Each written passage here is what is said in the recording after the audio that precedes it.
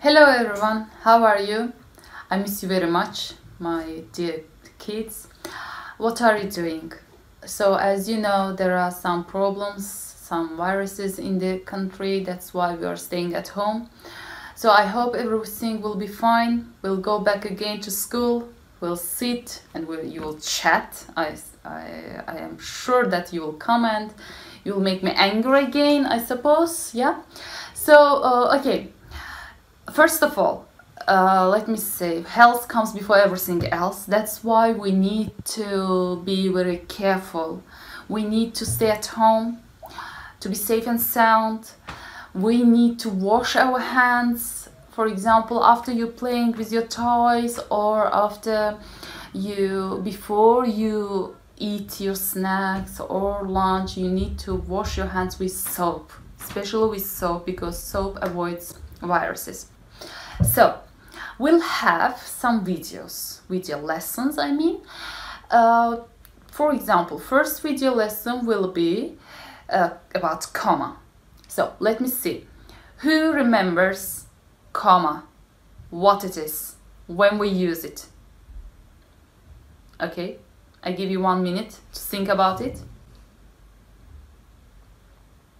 So, right.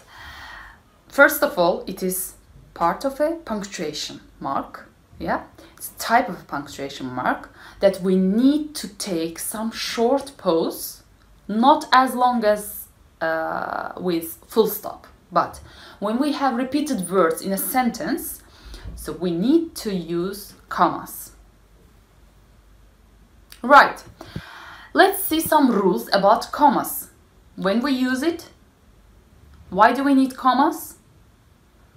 Avoid repetition maybe? Yes? Okay. Comma can be used to change the meaning of the sentence or separate items. For example, I have some friends. Their names are Nikki, James, and Philip. So as you see, I have some repeated items here. So what do we need to put? Not so many ands, but commas. Right. We need to put commas in uh, between the items. But when we come to the last two items, we do not use any comma right? Do you remember that we need to put and in between these last items? Yes? Okay. So, okay, let's do some activities right now. Um, we have some shopping list here and Zara is going to buy some fruits. So she's going to make fruit salad. She needs some stuff. Bananas, berries, apples, orange juice. Yeah?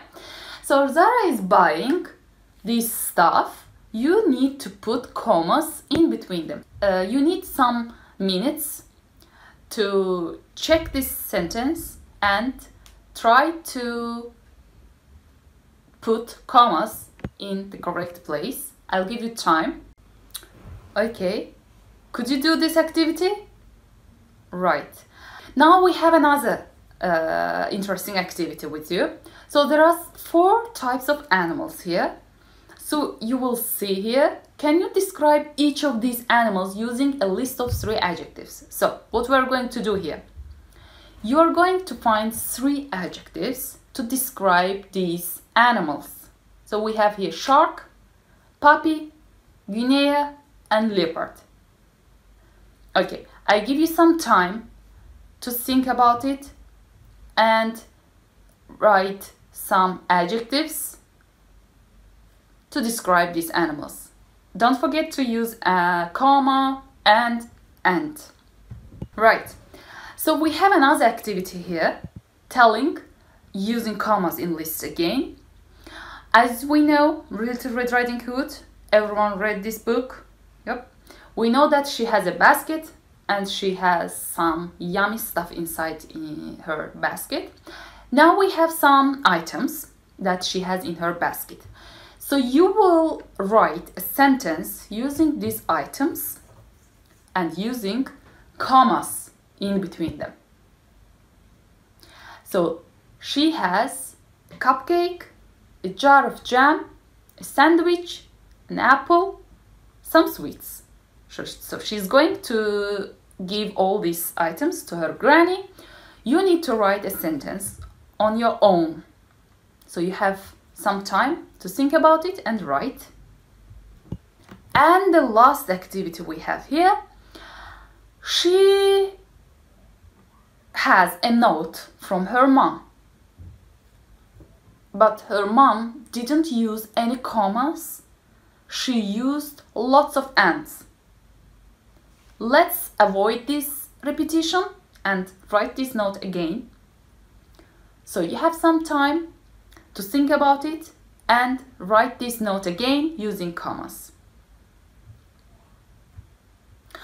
Right, I'll send you some files and you can find this video lesson in the link above and feel free to contact with me anytime and if you have any question if you have any mistakes don't forget to write me.